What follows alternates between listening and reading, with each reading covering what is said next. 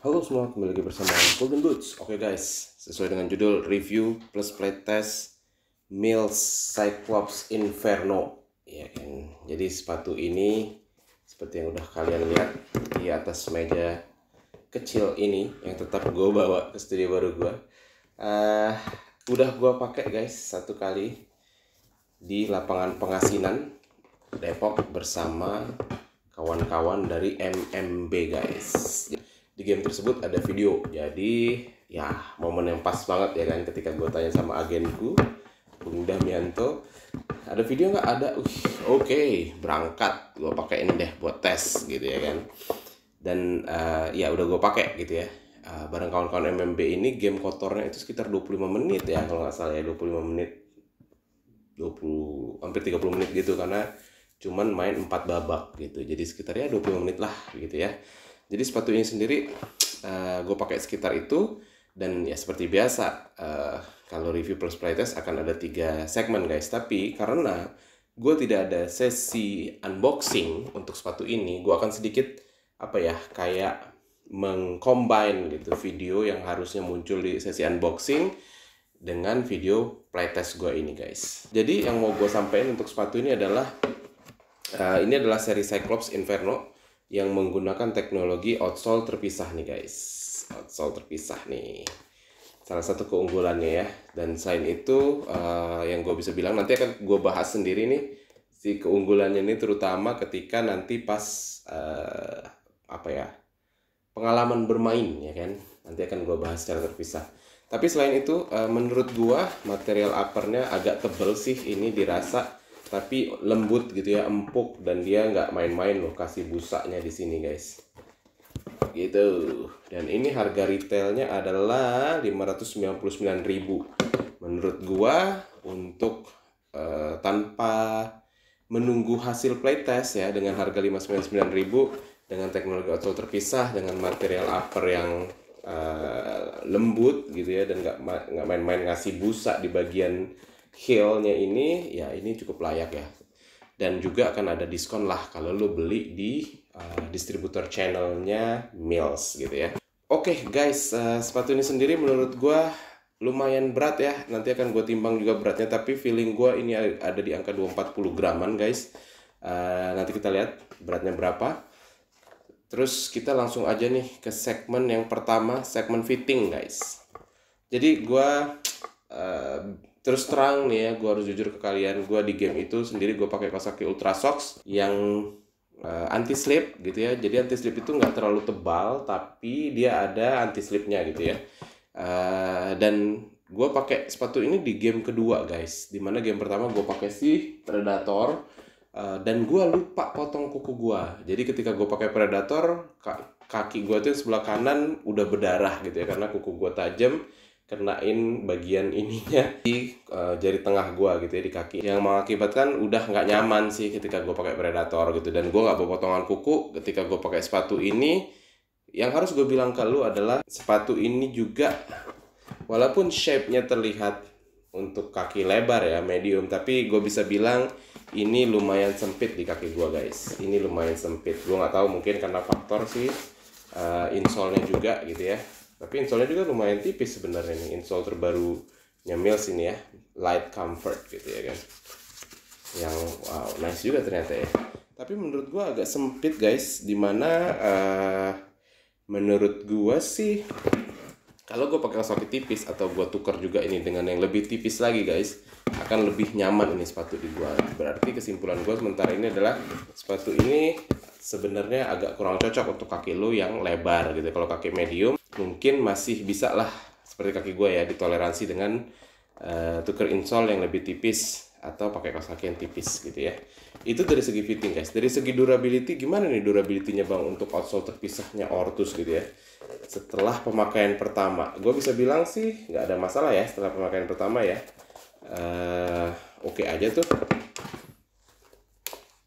Oke okay aja tuh gitu ya dan gue bisa bilang sepatu ini kalau lo pakai di lapangan yang keras mungkin akan sedikit lebih cepet lah gitu ya si outsole-nya ini mungkin lepas atau gimana gitu ya. Mungkin ya gue nggak tahu juga. Tapi menurut gue kalau dulu pakai di lapangan kayak yang gue pakai di pengasinan aman lah ini gitu ya.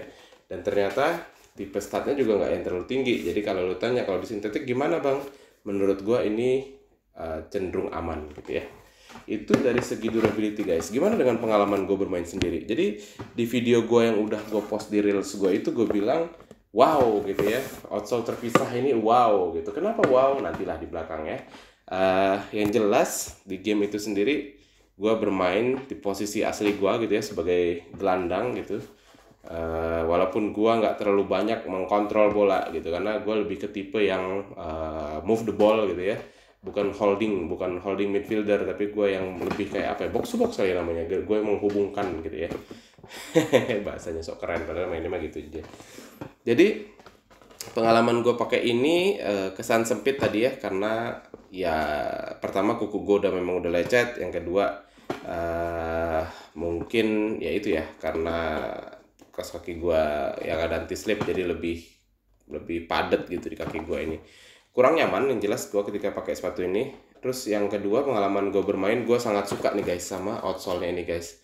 Karena kalau lu lihat sendiri di videonya yang sedang gue tayangin ini gue ada beberapa turn gitu ya ketika gue pakai sepatu ini dan menurut gue ajaib. Ini beneran ajaib. Jadi apa ya gue baru ngerasa uh, enaknya sol terpisah itu ya ini gitu ya. Maksudnya gini uh, eh, gue udah beberapa kali lah kan pakai outsole terpisah seperti punyanya si ya predator pun ada ya outsole terpisah gitu ya mutator terus si uh, vapor gue juga outsole terpisah. Tapi gue belum menanamkan mindset gitu ya. Jadi ketika gue baca penjelasannya ini di apa Insta Instagramnya Mills itu menyebutkan bahwa outsole terpisah ini membuat lo lebih gampang untuk manuver gitu ya jadi kata-kata manuver itu yang ada di otak gua ketika gua main gitu. Jadi ya mungkin itu yang membuat gua ketika gua melakukan manuver pakai ini gua ngerasa smooth banget gitu. Jadi ini enak nih untuk lo gelandang ya menurut gua uh, dengan beratnya juga yang pas gitu ya. Tadi udah lihat beratnya berapa ini beratnya menurut gue cukup pas untuk gelandang gitu. Tipenya juga tipe yang klasik lidah terpisah gitu ya. Desainnya juga ya nggak neko-neko gitu ya. Cenderung simple gitu ya. Cyclops Uh, sepatu ini sih sepatu gelandang banget untuk manuver enak banget. Dan gue ada beberapa di game itu juga yang gue mengirimkan umpan panjang gitu ya. Sayang gue belum coba syuting untuk sepatu ini. Tapi menurut gue untuk lo syuting karena si outsole ini mendukung untuk manuver jadi enak lah. Harusnya cukup enak. Oke segitu aja sih guys. Uh, review dan playtest gue untuk sepatu ini. Kalau lo tanya ke gue uh, worth it nggak bang dengan lo beli di harga 599 kalau kalau kaki lo adalah kaki medium gitu ya uh, cenderung slim menurut gue ini worth it banget untuk lo cobain guys. Tentunya pasti ada harga diskon ya. Karena gila manuvernya itu bener smooth menurut gue smooth banget gitu ya. Kalau lo tanya ke gue dari desain mungkin ini bukan favorit semua orang ya dengan warna seperti ini gitu ya Uh, tapi menurut gue kesan simpelnya dapat gitu ya nggak terlalu banyak macem-macem gitu. Dan yang paling menarik ya adalah outsole-nya ini. Jadi kalau dulu tanya desain ke gue ya 8 lah penilaian gue dan kalau tanya comfortable-nya ke gue kenyamanan gue ketika gue pakai sepatu ini ya sorry itu saya karena uh, eh, gue juga udah nggak nyaman ketika gue pakai si predator kaki gue udah berdarah. Tapi poin pentingnya adalah menurut gue ini kurang cocok untuk kaki lebar gitu ya. Kaki medium masih oke okay, kaki slim apalagi ini oke okay banget. Jadi kenyamanannya di kaki gue ini tujuh setengah gitu. Overall penilaian aslinya golden boots berapa nih bang? Penilaian aslinya golden boots ini menurut gue ya 6 lah di angka 6 uh, tapi untuk lo para gelandang yang cari sepatu yang lidah terpisah beratnya pas untuk gelandang gitu ya. Dan outsole enak banget untuk manuver. Gue saranin lu coba deh ini deh. Beneran. Layak banget untuk lu coba gitu ya. Untuk jadi untuk compete dengan uh, produknya specsnya yang si uh, Hydra gitu ya. Menurut gue sih bisa gitu ya. Bisa banget lah ini bisa banget compete. Karena harga yang pro juga kan sekitaran ini gitu ya Oke, okay, segitu aja guys dari gua. Uh, kalau lu suka dengan video ini, lu boleh like, lu boleh share ke temen lu yang, wih, gue suka nih desainnya begini gitu ya kan. Ada nggak sih yang udah nge-review? Oh, Golden Boots tuh gitu. Terus uh, lu boleh share nih ke temen lu, lu boleh komentar di kolom komentar, kita diskusi guys. Terus kalau pada akhirnya lu putuskan subscribe setelah nonton video ini, thank you banget guys atas support lo. Tanpa lo ya Golden Boots nggak akan ke mana-mana lah gitu ya kan. Segitu aja, mudah-mudahan bermanfaat untuk kalian. Golden Boots, pamit.